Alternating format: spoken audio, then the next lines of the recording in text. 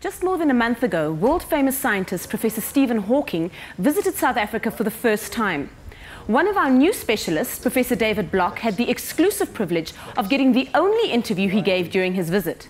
And what he had to say is somewhat controversial and may come as a surprise to many. Meet him after the break.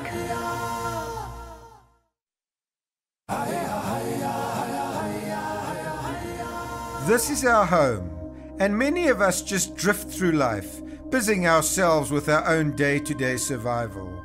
Some individuals, however, have dedicated their lives and their research in trying to understand how our universe came about and what its future holds for us.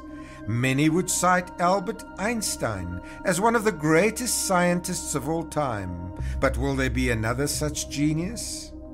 Earlier this year, some of the world's most eminent scientists descended on the seaside resort of Muizenberg to support an initiative to find an African Einstein. Where would the planet's foremost scientists choose to meet the public? At the Muizenberg Pavilion. Let us go inside. Amongst the stellar personalities attending was the administrator of NASA, Michael Griffin. Headed for the surface of Mars, after landing and bouncing a couple of dozen times, the spacecraft came to arrest. The airbags deflated. This is an actual photograph of the spacecraft taken from itself as it sets out uh, across the sands of Mars.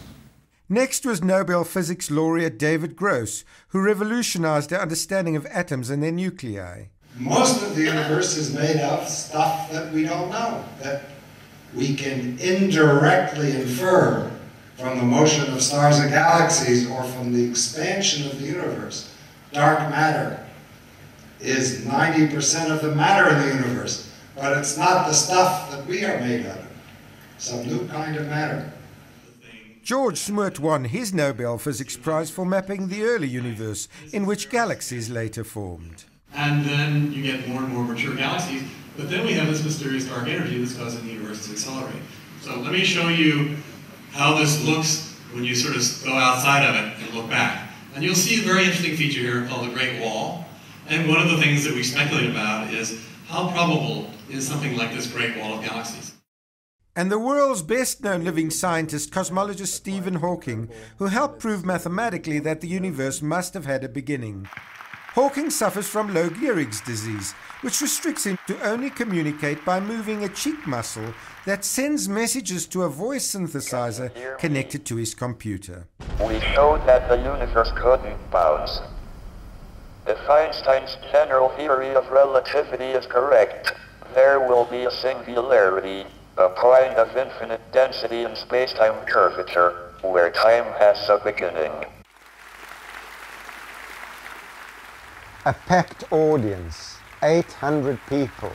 The interest was so intense, the excitement was so high that I understand that the public and some scientists actually stood and broke down a door.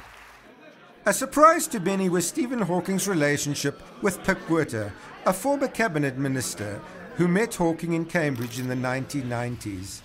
But what was it that attracted the world's top scientists to the humble little suburb of Muizenberg, where the previous most historic occasion was when Darwin landed in 1836? What was once a very old and dilapidated hotel is now AIMS, the African Institute for Mathematical Sciences. It is a building where the next Einstein of tomorrow on the continent of Africa is being raised. AIMS was founded by mathematical physics professor Neil Turok, the son of Muizenberg MP Professor Ben Turok. Neil had been working with Stephen Hawking in Cambridge when he decided that Africa could be the place to seek out a future science genius. What does it take for a South African in Cambridge to persuade the world's greatest scientist with his disability in coming all this way? What brings Stephen here? Well, maybe people in South Africa don't realize uh, the esteem with which the country is held worldwide. It was a very easy case to make because Stephen has been following uh, the progress in South Africa for years. He's a huge admirer of Mandela. He's written to Mandela. There's this uh, connection with Pik Botha. So I just go to him and I say, I'd like to uh, want to start an institute in South Africa for attracting students from all over Africa, the best lecturers from the world. Uh, will you support us? Yes. And he said, Of course I will.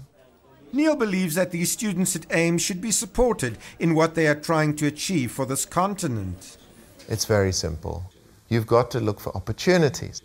What opportunities are there in Africa which have been missed?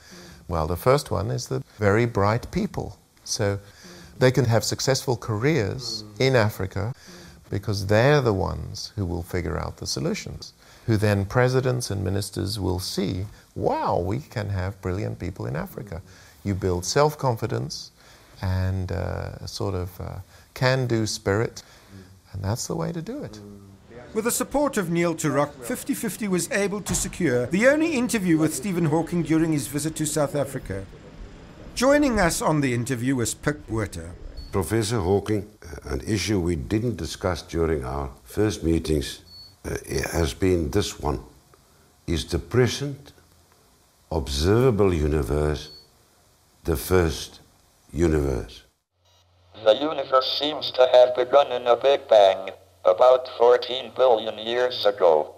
All the evidence is consistent with the universe having been spontaneously quantum created out of nothing at the Big Bang, so there would be no earlier universe. This would be the only universe of which we have knowledge. That's one of Stephen's greatest contributions, is that the universe has had a definite beginning mm-hmm. and simply not the result of a bounce, but the beginning of the cosmos. We also wanted to know whether a planet under similar conditions as ours could produce life, even in a primitive form.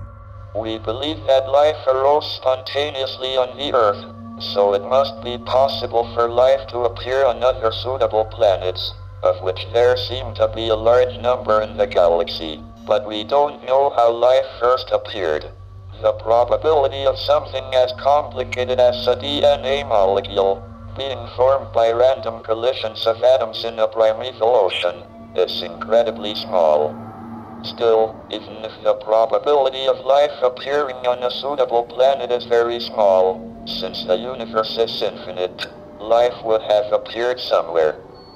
We don't seem to have been visited by aliens, and we haven't picked up any of their television signals, so the next advanced civilization is at least a few hundred light years away, and maybe in another galaxy.